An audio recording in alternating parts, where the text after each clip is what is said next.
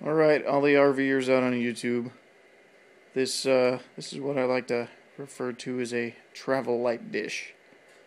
This is a regular satellite dish you see around the campgrounds all the time.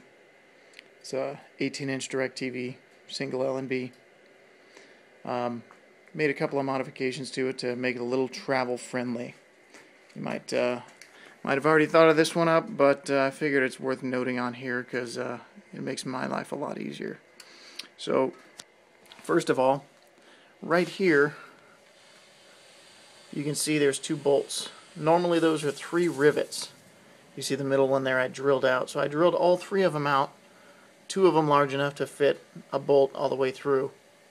Um, put a wing nut on this side, and then, as you can see, a wing nut on that side as well. So, that means when you loosen up this bottom one here, I'm doing it right now, loosen this bottom one up, give a little push, and the LNB folds up to the dish. So it takes up a little less space.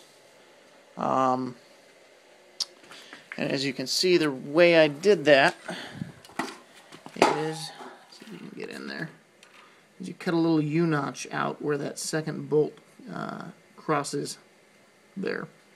So that when it's uh, when it's folded out, it kind of fills in that spot there. You tighten up that that uh, wing nut and it's not going anywhere.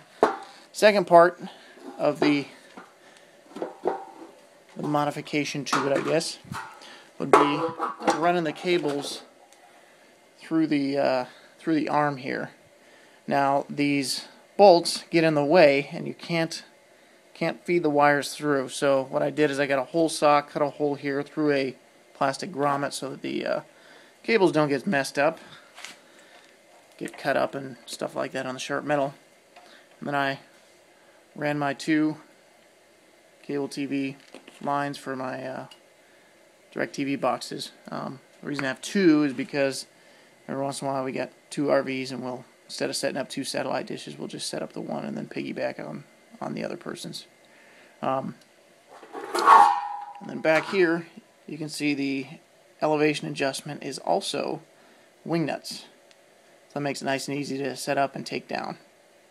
I've also seen people take these four four bolts that hold the actual dish itself on, the reflector, and they will turn those to wing nuts as well so they can take that off. But with it all folded up like this, see if I can get a shot of the whole thing. With it all folded up like this, I find it very, very easy to store. Um, I don't need a whole pole, just uh, I just take that pole, put it into the uh, tripod mount that I have, and it works just fine. So, for the RVers out there, if uh, you feel a little adventurous, want to want to give this a shot, it uh, certainly saves on space and uh, makes setup and tear down your DirecTV dish a lot easier. So, have fun and uh, make sure you don't screw up your DirecTV dish in the process.